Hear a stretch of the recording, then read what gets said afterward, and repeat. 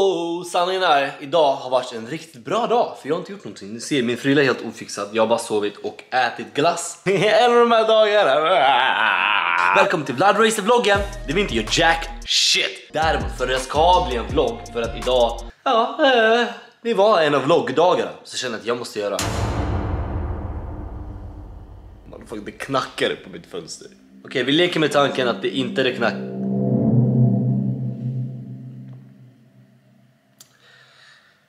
Vi leker med tanken om att det inte knackar i mitt fönster. Klockan är 23.16, jag håller på att kolla igenom videon som ska ut imorgon. En, en, en, en av de här dagliga vloggarna som jag har börjat med här. Istället för att inte släppa en vlogg alls så tänkte jag berätta en liten kort historia. Just för dig där hemma som älskar mina storytimes men som inte har hört dem. Dagens storytime är en av storytimes som du önskar att du inte hörde. Jag bara skojar. Inga läskiga storytimes, okej? Okay? Det är inte så att halloween är här eller något. Nej, men sanningen. Det här är faktiskt en storytime om hur jag, när jag var en liten, liten Vladdyboy... Oh my god, jag tillbaka med gamla stories. Oh my god, jag tillbaka med gamla stories. Håll då, ta det lugnt. För det här är en storytime om hur lilla Vladdyboy rökte cannabis för första gången. Svensk Youtube! Smattra mitt liv! Sverige! Ta mig levande! Det här kan du inte berätta om Vlad! Går inte! Fast sanningen är, jo det går. Um, det här är någonting, det är en stigma, okej? Okay? Sånt händer, man gör det, man testar olagligheter och uh, det är okej. Okay. Kolla, det är inte så att man blir en avdankad influencer, eller hur? Inte jag då, jag är fett populär och fett fresh. Sanningen är, det här var ett jäkla tag sedan. Jag tror att jag gick i nian. Jag, jag gick i en väldigt svensk, väldigt snobbig skola mitt i stan i Stockholm. Engelbrektsskolan. Det, det, det är där alla kids gick vars föräldrar var diplomater eller typ ingenjörer. En kille från min klass, inte från min klass, men från parallellklass. Hans farsa gjorde typ så här alla SAS flygplan. Alltså det är helt stört. Hur som helst, det var många intressanta människor, fett snobbiga barn, lite orten kids som fick tur att komma in på den skolan och jag. Jag kom in på den här skolan från egentligen Husbyskolan. Ifall ni har koll på mina storytimes, jag gick i en rysk-svensk skola med matematik och schackinriktning. Okej, okay, your boy var smart. Okej, okay? jag har fett IQ när jag var liten. Fuck är det som har hänt? Hur som helst, jag fick kicken från min ryska matematikschackskolan och jag fick ja, ändra skola. Så jag ville verkligen komma in på den här A-skolan, snobbiga, smarta skolan. För det är där alla progressiva kids var. Och jag tänkte, hej, men jag kan väl också göra det. Men uh, istället så fick jag gå i Husbyskolan i ett halvår.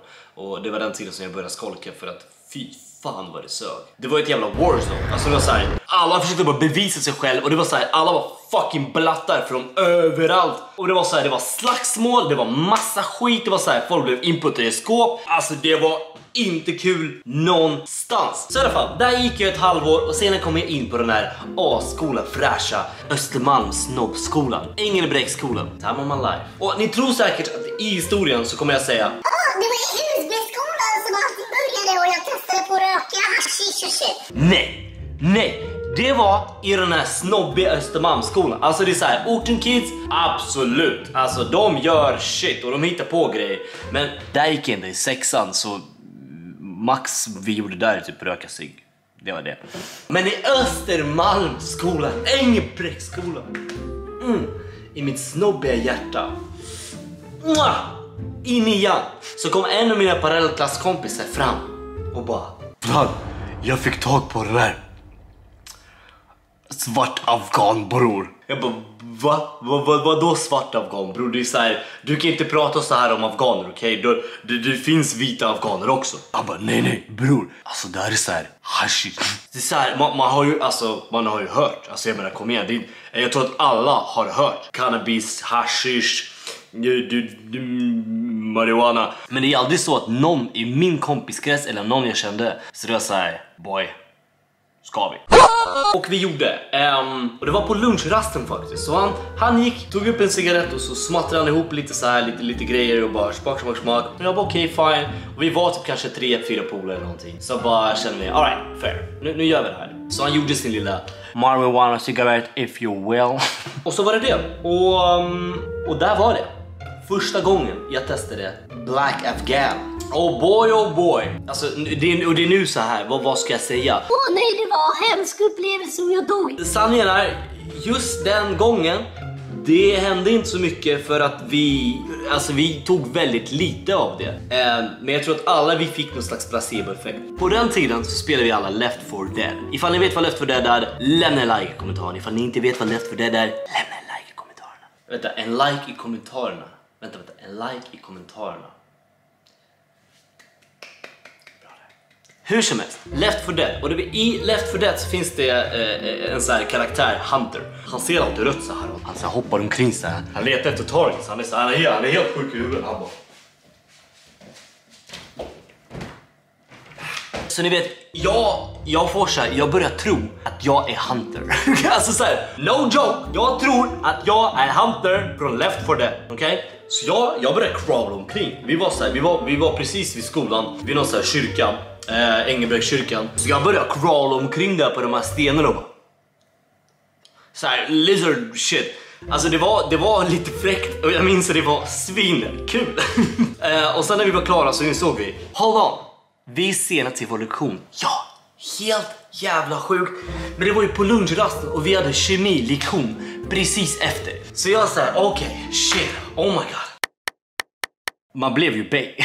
Där går jag, Vladdyboy och hans liga, röda i ögonen, torra i munnen och ska in till skolan för att gå på en jävla kemi. Why shit you not, men ifall ni har hört mina förra storytimes då vet ni vem Predrag är. Predrag var den här assöta lilla mannen som hade typ såhär ett riktig Minecraft-hud. Han var alltså han var eh, riktig Minecraft-gubbe, jag vet inte, han var såhär ganska liten kropp, man hade värsta Minecraft-huvudet. Och han var alltid såhär asstel och bara Gå, gå ut härifrån. Vlad, vad gör du? Så här, han var någon sån här serb eller någonting, ja, och, alltså åt det hållet. Så jag kommer in på hans lektion och jag är... Alla sitter ner och är lite så här jätteduktiga barn, du vet, och bara lyssna på läraren för det är en kemilektion och det är så jävla intressant att lyssna på det. Alltså jag kommer in med min polare, ja, det första vi inser är att det inte finns några stolar. Vissa klassrum hade så, det var bara, det, det var bara slut. Det är eh, värsta Östermalmsskolan med stolar! Nja, ah. fuck you. Men, men när problemet uppstod så fanns det alltid ett par stolar framme vid katedern. Så det var det vi fick göra. Vi fick gå längst fram i klassrummet för att hämta stolar. Och, och alltså, åh, det är här det roliga egentligen börjar. Jag går fram till katedern där Predrag står. Han är fortfarande, alla, alla är tysta när vi kommer in. Det var, jag minns där att alla blev helt, det var som att de snackade skit om oss eller någonting. För när vi gick in i klassrummet, alla höll käften. Så vi bara, hej hej, så här, i ett jäkla altered mind of state liksom och bara okej, nu vad fan ska vi göra nu? Så vi går fram till katedern, jag, jag ser en stol. Det kändes som att världen gick i slow motion för mig. och man var ju asnervös för kom igen, vi hade precis fått i oss svart afghan bror.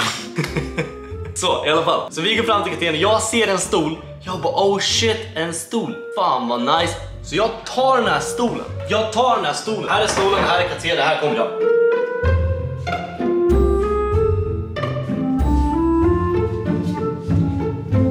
Så jag tar liksom stolen och blir skitglad och bara går iväg och jag kollar på min polare som är på andra sidan klassrummet. Jag minns inte vad han gjorde, men han, han var helt. Jag var okej, han var helt. Han stod vid vattenkranen och hällde vatten i sitt ansikte så han bara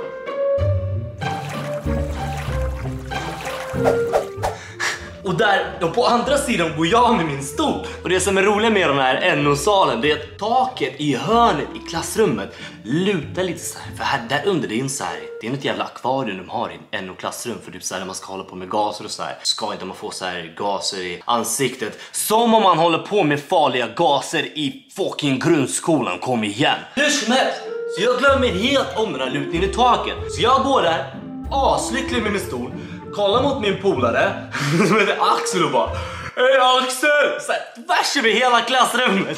Hej Axel, jag hittade en stol! Och precis då så bara smattrar jag huvudet as hårt i den här lutningen. Alltså, det, jag, jag, alltså jag minns, jag får så här blodstopp i hjärnan när jag tänker på det för det, alltså, det gjorde fett ont.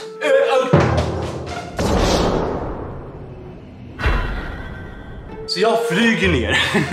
Alltså jag faller bokstavligen omkull. Stolen hamnar över mig så här och alla i klassrummet håller fortfarande fucking käften. Alltså de snackade skit om oss 100%. Ja, alltså jag, jag tror ingenting annat. För när någon gör sig illa så här, alltså man garvar. Man sitter inte tyst. Då är något fel.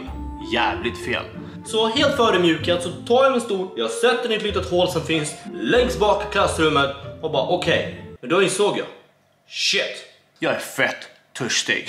Så jag kollade mot min polare som stod vid handfatet för alltså så här, några minuter sedan. Vad som kändes några minuter sedan i mitt huvud, alltså allt gick i slow motion på riktigt. Motherfucker, han står fortfarande vid vattenkranen och bara Alltså så här, jag, jag vet inte hur länge han stod där men det känns som att han stod där länge. Så jag... Okej, oh my god. Så jag går fram till honom och jag bara Bror, jag vill också... Ah!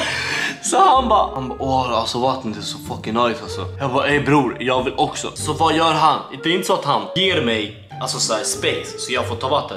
Han bara, ah shit, här bror. Så han tar vatten i sina händer så här och bara och jag, alltså såhär, ändå relativt galen. Black of gun, det är no joke alltså.